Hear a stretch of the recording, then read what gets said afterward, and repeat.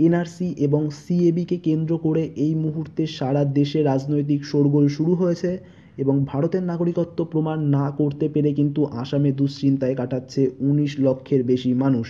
এবং সম্প্রতি কিন্তু লোকসভা ও রাজ্যসভায় পাশ হওয়া নাগরিকত্ব সংশোধনী বিলে ভারতের নাগরিকত্ব পাওয়ার ক্ষেত্রে কিন্তু বেশ কিছু নিয়মের পরিবর্তন ঘটানো হয়েছে। আর এমতো অবস্থায়, অর্থাৎ এমতো পরিস্থিতিতে আপনি যদি ভারতের নাগরিকত্ব পেতে চান তাহলে কিন্তু আজকের ভিডিওটি আপনি অবশ্যই শেষ পর্যন্ত দেখবেন, কারণ ভারতীয় নাগরিকত্ব পেতে হলে আপনাকে কি কি ডকুমেন্টের প্রয়োজন এবং আপনার আবেদনের পদ্ধতি কি রয়েছে, ফুল ইনফরমেশন কিন্তু আজকে আপনাদের দিয়ে দেব। ভিডিওটি আপনি অবশ্যই শেষ পর্যন্ত দেখতে থাকুন। ভিডিওটির কোনো অংশ আপনি মিস করবেন না, তাহলে আলটিমেটলি পুরো ব্যাপারটাই আপনি বুঝতে পারবেন না। আর ভিডিওটি শুরু করার আগে আপনাদের প্রত্যেকের কাছে রিকোয়েস্ট আমার এই ছোট্ট চ্যানেলটিকে যদি এখনও সাবস্ক্রাইব না করে থাকেন, তাহলে আপনি অবশ্যই সাবস্ক্রাইব করে নিয়ে পাশের বেল আইকনে প্রেস করে অল নোটিফিকেশান অন করে রাখবেন। এর ফলে আপনি লেটেস্ট ইনফরমেটিভ আপডেট সবার আগে পেয়ে যাবেন এবং কোনো ভিডিও আপনার মিস হবে না। তো প্রথমে আপনাদের জানাব কীভাবে নির্ধারিত হয় ভারতের নাগরিকত্ব। এরপর সেকেন্ডে আপনাদের জানাব নাগরিকত্ব সংশোধনী বিল অনুযায়ী এখন ভারতের নাগরিকত্ব কারা পাবেন। থার্ডে আপনাদের জানাব প্রয়োজনীয় ডকুমেন্ট কী কী লাগবে এবং লাস্টে আপনাদের জানাব নাগরিকত্বের জন্য আপনি আবেদন কীভাবে করবেন। তো চলুন প্রথমে জেনে নেওয়া যাক কীভাবে নির্ধারিত হয় ভারতের নাগরিকত্ব। তো সাধারণভাবে কিন্তু জন্ম এবং বংশ পরম্পরায় ভারতের নাগরিকত্ব পাওয়া যায় এবং উনিশশো ঊনপঞ্চাশ সালের উনতিরিশে নভেম্বরের আশা সংবিধান অনুযায়ী আপনার বাবা অথবা আপনার মা যদি ভারতে জন্মগ্রহণ করেন তাহলে আপনি কিন্তু নাগরিকত্ব পেতে পারেন। আবার উনিশশো পঞ্চান্ন সালের নাগরিকত্ব আইনে বলা হয়েছে, কিন্তু উনিশশো পঞ্চাশ সালের ছাব্বিশে জানুয়ারি থেকে উনিশশো সাতাশি সালের পয়লা জুলাইয়ের মধ্যে যাদের জন্ম ভারতে, তারা এ দেশীয় বলে গণ্য হতে পারেন। এছাড়া উনিশশো সাতাশি সালের পয়লা জুলাই থেকে দু হাজার তিনের নাগরিকত্ব সংশোধনী আইনে কিন্তু বলা হয়েছে, যাদের জন্ম তারা কিন্তু ভারতীয় বলে বিবেচিত হতে পারেন।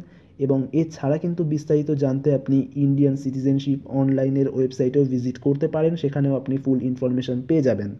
এবং এরপরে আপনাদের জানাব নাগরিকত্ব সংশোধনী বিল অনুযায়ী এখন ভারতের নাগরিকত্ব কারা পাবেন। তো দেখুন, নাগরিকত্ব সংশোধনী বিলে বলা হয়েছে কিন্তু ভারতের প্রতিবেশী মুসলিম অধ্যুষিত তিনটি দেশ রয়েছে এবং আফগানিস্তান, বাংলাদেশ এবং পাকিস্তানের হিন্দু, শিখ, বৌদ্ধ, জৈন, পার্সি এবং খ্রিস্টানদের ভারতের নাগরিকত্ব দেওয়া হবে। এবং যদিও বিশ্বের অন্যান্য দেশের সকল ধর্মাবলম্বী মানুষদের কিন্তু ভারতের নাগরিকত্বের জন্য আবেদন করতে পারে এবং উনিশশো পঞ্চান্ন সালের নাগরিকত্ব আইনে কিন্তু বলা হয়েছিল ভারতের নাগরিকত্ব তারাই পাবে যারা আবেদন করার আগে টানা বারো মাস ভারতে বসবাস করছে। এর সাথে কিন্তু বিগত চোদ্দ বছর এবং এগারো বছর তারা ভারতে কাটিয়েছে, তবে নাগরিকত্ব সংশোধনী বিলে কিন্তু টানা বারো মাস সাথে দ্বিতীয় নিয়মের সময় কমিয়ে ছ বছর করা হয়েছে। অর্থাৎ এখন তারাই আবেদন করতে পারবেন যারা বিগত আট বছরের মধ্যে ছ বছর ভারতে রয়েছেন। তো এরপর চলুন জেনে নেওয়া যাক ভারতীয় সিটিজেনশিপ অর্থাৎ ইন্ডিয়ান সিটিজেনশিপের জন্য আপনার ডকুমেন্টের কী কী প্রয়োজন রয়েছে।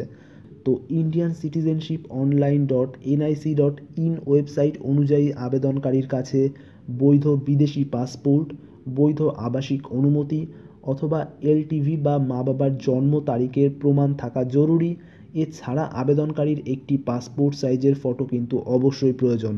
তো এরপর চলুন জেনে নেওয়া যাক নাগরিকত্বের জন্য কীভাবে আপনি আবেদন করবেন। তো এর জন্য কিন্তু প্রথমত আপনাকে Indian citizenship online dot NIC dot in ওয়েবসাইটে চলে যেতে হবে, অর্থাৎ এটা কিন্তু অফিসিয়াল ওয়েবসাইট এবং ওয়েবসাইটে যাওয়ার পর আপনি কোনো ধরনের রেজিস্ট্রেশন করতে চান এবং সেটি কিন্তু মনোযোগ সহকারে নির্বাচন করতে হবে। এবং তারপর আপনি সেখানে অ্যাপ্লাই অনলাইন বাটনে ক্লিক করবেন। এবং সেখানে কিন্তু আপনার সামনে একটি পেজ খুলে যাবে এবং সেখানে আপনার সম্পর্কে, আপনার বাবার সম্পর্কে, আপনার মায়ের সম্পর্কে, আপনার বিবাহ ও কর্মজীবন সম্পর্কে আপনার পাসপোর্টের তথ্য পূরণ করতে হবে এবং সেখানে সমস্ত তথ্য দেওয়ার পর আপনাকে সেভ অ্যান্ড নেক্সট বাটনে ক্লিক করতে হবে এবং এর পরের পেজে আপনাকে ঠিকানা সম্পর্কে জানতে হবে এবং এটির পরে কিন্তু পরিবার এবং তার পরের পেজে কোনো ফৌজদারি মামলা চলছে কিনা আপনার নামে সেটা আপনাকে জানাতে হবে। এবং তারপর কিন্তু এই তিনটি পেজের পর আপনাকে আপনার ছবি ও আপনার ডকুমেন্ট আপলোড করতে হবে এবং সব শেষে কিন্তু পেমেন্ট করতে হবে। এবং পেমেন্ট করার পরেই কিন্তু আপনার আবেদনটা অ্যাপ্লিকেবেল হবে, অর্থাৎ আপনার আবেদনটা কিন্তু অ্যাকসেপ্ট করা হবে। তো এইভাবে কিন্তু আপনারা অনলাইনের মাধ্যমে সিটিজেনশিপের জন্য আবেদন করে ফেলতে পারেন এবং আপনাদের কিন্তু ডকুমেন্ট কী কী প্রয়োজন রয়েছে, টোটাল প্রসিডিওর কী রয়েছে, এছাড়া কারা আবেদন করার জন্য যোগ্য, অর্থাৎ প্রয়োজনীয় রিকোয়ারমেন্ট কী কী রয়েছে ফুল ইনফরমেশান দিয়ে দিয়েছি আপনাদের।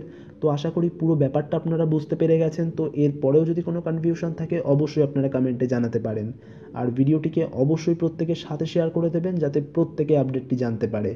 তো প্রত্যেকে ভালো থাকবেন। দেখা হবে নেক্সট ভিডিওতে